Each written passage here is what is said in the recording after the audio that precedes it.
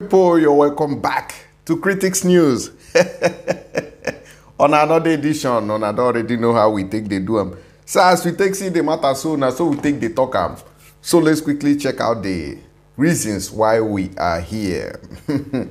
For those of you people who are in the southeast, who are still in Biafra land, and we are urging you to be very, very careful because the army has arrived to, you know, kill, to destroy, and to kidnap.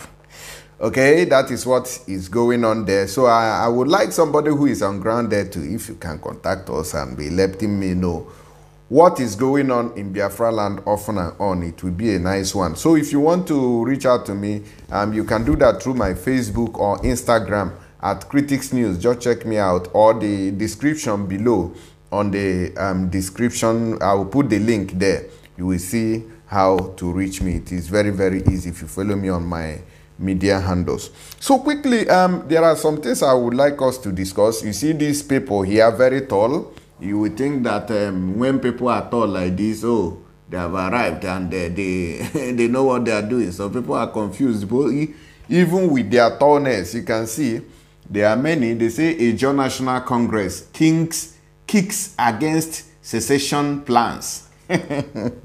Do you see that? I hope you can see the the the headline there. That is our people. Oh. Ndị. These are our people that Maazị Nnamdi Kanu are saving. See what they are, the that they are yarning. And another problem has come up: insecurity. Army to transfer personnel from schools to front line. And this one also will vindicate the leader of IPOB, Maazị Nnamdi Kanu, because he said it that Nigerian army does not have the um, personnel to face um, the people in case anything wants to happen, in case uh, we say we want to face them sequely. He said that Nigerian army does not have the personnel to face us. But we thought, oh, forget that man, he can talk too much, he's uh, joking. Now, is it not truth? Is it not happening? Look at it here. Nigerian army to pull personnel from schools to front line due to lack of uh, manpower. Now let's see what happened. Boko Haram has grinded most of them.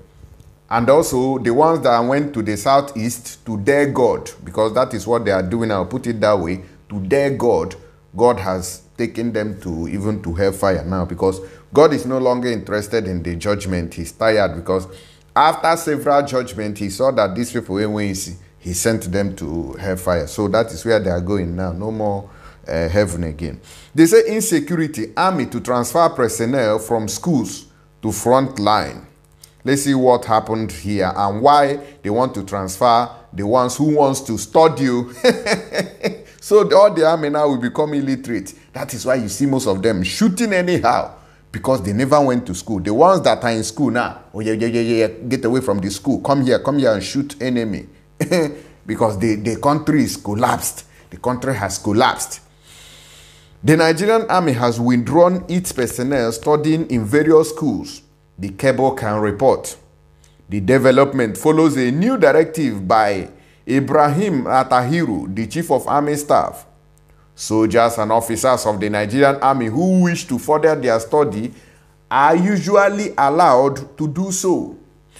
But the new directive comes as military needs more personnel in tackling Nigeria's growing insecurity, particularly um, insurgency and banditry. And why are they pulling them? Because they sent men to the southeast. If it was in the past when they were just romancing with Boko Haram and bandits in the north, this thing wouldn't have happened. But it don't shell for southeast now. Now they want to withdraw troops from schools and send most of them to the southeastern part of the country where they will not make it alive. it surprises you that I say so.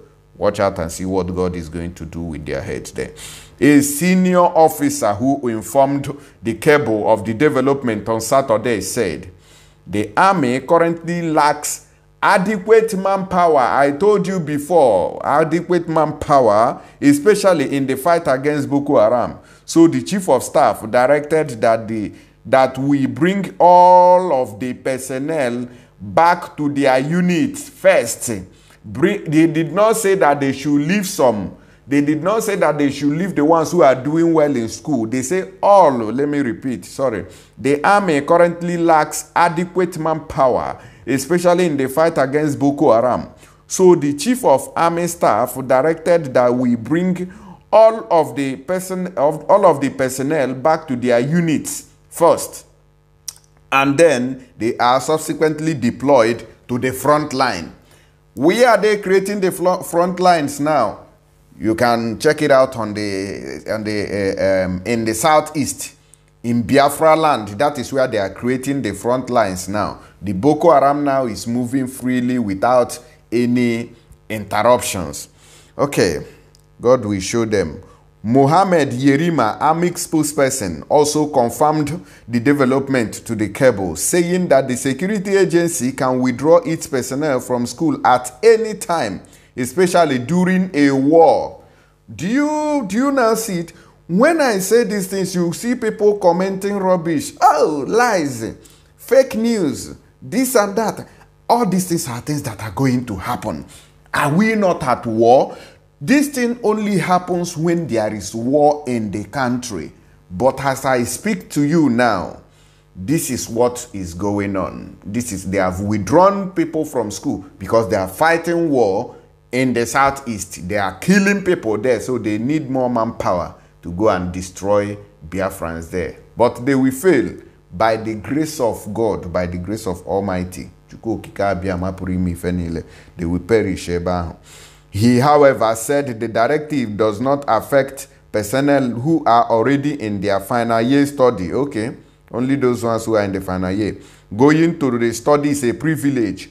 When you come to the army, we take you to your point of qualification to allow you to go to school. It's just to give you welfare to go and have additional knowledge, he said. When there is war, we will withdraw anybody from anywhere. But this time, the chief of army staff was mag magnanimous enough to allow those in the final year to stay. Where are we getting to? We are almost there. Now, if there is confrontation in the southeast, then it's a boom. That is what we will get. If there is a serious conf uh, confrontation in Biafra land, then there, there will be a serious problem. Because they have withdrawn, or they, they now have their last men except the people in final year. How about that? Now, okay, oh, Maazị Nnamdi Kanu has been vindicated here. Okay, when there is war, who is thinking of school? This is what the army uh, spokesperson is talk is saying, asking. That is the position. For over a decade, the army has continued to fight Boko Haram insurgents in the north, in the northeast, while many soldiers are also involved in about 15 military operations across the country. It also en ensures that soldiers and officers attend routine courses at the Armed Forces Command and Staff College in Kaduna. This is what is happening, and this thing is happening because there is serious tension in Imo State, in River State, in Abia State, in Anambra, in Ebonyi, in Enugu. These are the major places where there is high tension where, and these are the places that army wants to go on a drill okay so i'm praying for our people for safety god will help us and will defeat every enemy coming to invade us or coming to you know reap where they did not sow they will not make it out of that place by the grace of god don't go to southeast as an army officer make peace with God first, or how will I put it? Okay. God will, Satan share will be waiting for you at the doorstep. John National Congress kicks against secession plans by Onifien Owe. Oni Sofien Owe. Okay, so these people who are, they think they can come and speak for everybody. But to conduct a simple referendum, you see them growing tall like a Iroko tree without common reasoning. That is, you see them here, see them. You, they, you just, you see people very tall. You think, ah, I've seen them oh, for nothing, nothing there inside the upstairs. Only coconut water, nine day there. They are not thinking. Ijo land Ogoni, all these place all these places be like uh, gutter what is the government doing to develop where the whole oil almost all the oil functioning the country is coming from nothing that place is like dustbin and you have dogs backing as governors mrs uh, tambuwal. Oi i'm not igbo man i'm not an igbo man yeah, he's running. He will later run to fulani and become a fulani man. Yara. President of ijaw national congress inc professor benjamin okaba has told secessionists that no part of Ijaws will be co-opted. At the official inauguration of the new executive of the INC, which is Ijaw National Council in Yenagoa, Governor Douye and other notable Ijaw leaders again reiterated calls for true federalism and restructuring of the Nigerian state. For how many years now that this country has been like this? since we have been hearing restructure, restructure, it, it, it never happened. And it can never happen with the kind of Malama and Abuki that have no sense in power.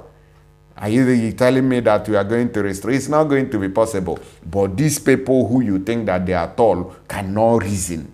Maybe hatofe re hatofe.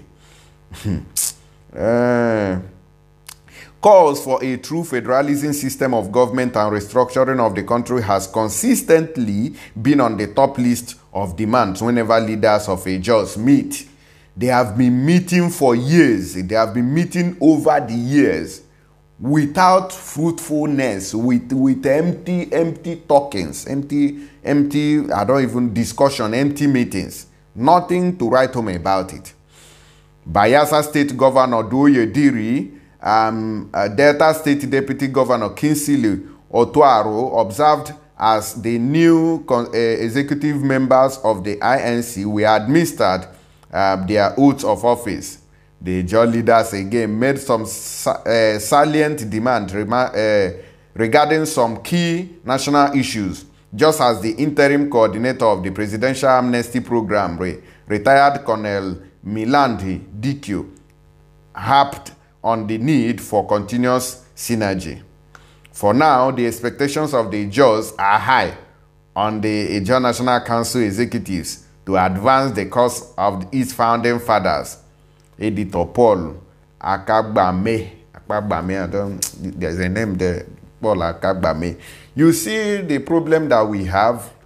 These people, these people that you are looking at here, see them properly, you will see that, oh, As they are taught, so, so is their brain. No way.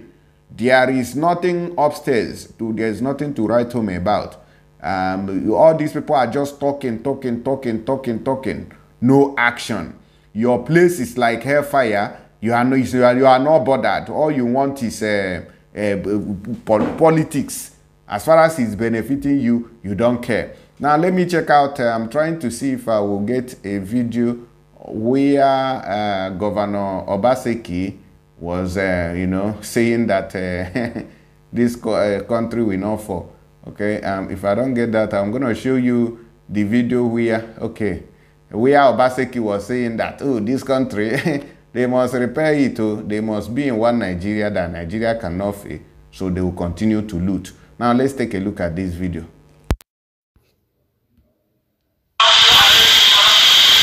The end of the Muslim Ramadan fasting period is being marked around the world, and Nigeria is no exception. In neighboring state, adherents to the faith are here converged on the central mosque in Abakaliki for prayers, the significance captured in this submission. I will use this as a, a, a, an advice for all of us in Nigeria to stay in peace. Love your neighbor as you love yourself. Let us stay in peace. Without peace, there will be no development. Without peace, there will be no stability.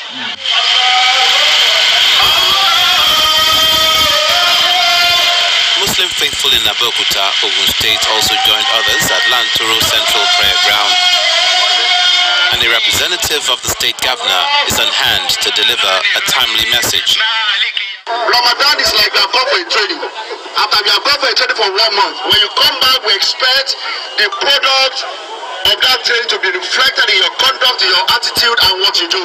River State Governor Yeson Wike, in a goodwill Salah message, felicitated with Muslims in the state calling on all Nigerians to draw lessons of piety, justice, fairness, equity, tolerance, and peaceful coexistence all through the Ramadan period.